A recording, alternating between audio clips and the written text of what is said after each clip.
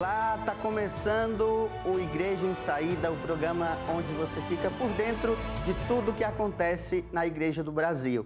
Exemplos de ações missionárias e de sinodalidade você encontra aqui. A Rensa, região episcopal Nossa Senhora Aparecida, da Arquidiocese de Belo Horizonte, organizou no último fim de semana o encontro das comunidades eclesiais de base. Confira como foi na reportagem da TV Horizonte. O encontro foi realizado na paróquia São Tarcísio, região oeste de Belo Horizonte.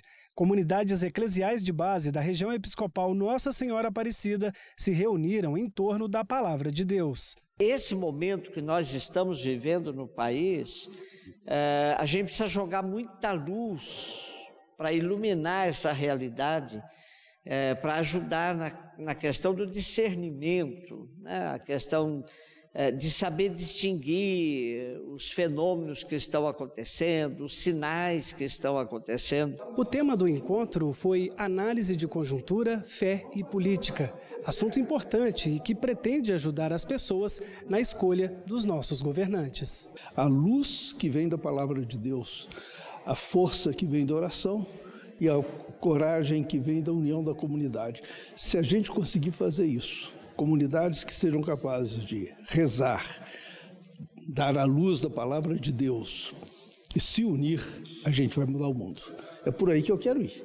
A ideia do encontro é que os líderes multipliquem os assuntos tratados nas comunidades em que vivem. É um momento de acho, fortalecimento desse modo de viver a igreja, desse modo de viver a fé. Né? Uma fé encarnada na vida, uma fé, como costumamos dizer, de olho na vida e na Bíblia. Deus do primeiro, agora o 35 encontro, é uma luta da, no sistema de evangelização das pequenas comunidades de base e eu chego aqui no 35 otimista ainda, sabe? A importância é a maior que a gente pode imaginar, sabe por quê?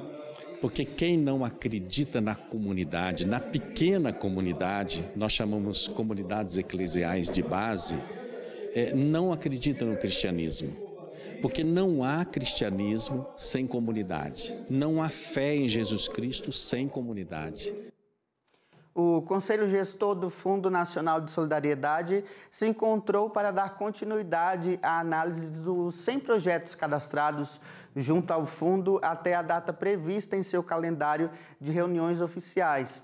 Durante a reunião foram aprovados 37 projetos, aos quais serão destinados mais de um milhão de, um milhão de reais. Desta vez, o eixo que mais teve propostas aprovadas foi o eixo 1 que apoia projetos educativos, com 20 projetos, seguido pelo eixo 2, que fala dos auxílios e situações de insegurança alimentar e vulnerabilidade social, com 11 projetos. E o eixo 3, capacitação para geração de renda, com seis propostas. Entre os projetos aprovados está o de atendimento a reeducandos do sistema prisional, por um meio de formação de uma banda musical a ser acompanhada por presos que já passaram pelo sistema prisional no estado de Santa Catarina. O projeto foi apresentado pela Diocese de Criciúma e prevê a compra de instrumentos e de equipamentos musicais. Faltam também menos de dois meses para a realização do 18º Congresso Eucarístico Nacional do Brasil, a ser realizado entre 11 e 15 de novembro deste ano.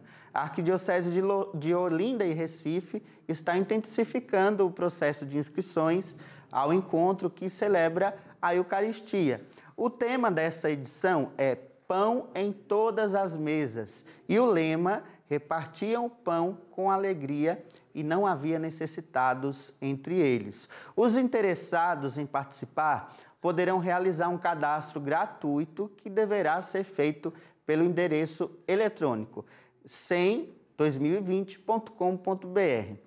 As inscrições vocês podem fazer acessando a página é, que precisa antes escolher entre as abas público em geral, obispos, padres e diáconos e preencher o formulário com dados pessoais, tais como nome completo, e-mail, qual diocese e arquidiocese pertence. Aliás, você sabe, já viu aqui que a chegada do Congresso é motivo de muita expectativa para a nossa igreja, e em especial pela Arquidiocese de Olinda e Recife. Nossa equipe conversou com o Dom Antônio Fernando Saburido, que falou um pouco sobre os preparativos e a importância desse encontro. Tudo lá em Recife respira Congresso Eucarístico Nacional. E queremos passar essa, essa alegria toda para o Brasil todo, porque o Congresso é nacional, embora todos são convidados a participar intensamente. E para a gente é uma alegria grande poder acolher os irmãos que vi, estão vindo de todas as partes para se sentirem à vontade, conhecerem também aquela região nordestina. Né? De modo que tudo isso é motivo de muita satisfação para todos nós. Nós estamos vivendo tempos muito difíceis, com muitas desigualdades sociais, né? com muita muitos problemas de ordem política, social, todos os aspectos, de modo que o Congresso chega como um alento, né, para podermos então nos recompor espiritualmente. Vai ser depois das eleições, tudo tem passado, esses problemas de essas polêmicas todas. Então vai ser um oásis, né? E inclusive vai ter a oportunidade de, ter, de sermos instruídos sobre o tema da Eucaristia, porque vai haver um simpósio teológico né, com grandes conferências, oficinas. E tem mais programação para você aí de casa. O setor de campanha da Conferência Nacional dos Bispos do Brasil realiza de 27 a 29 de setembro, de forma online, o Seminário Nacional da Campanha da Fraternidade 2023, que terá o tema A Fraternidade e a Fome e o lema Dá-lhe-vos mesmos de comer.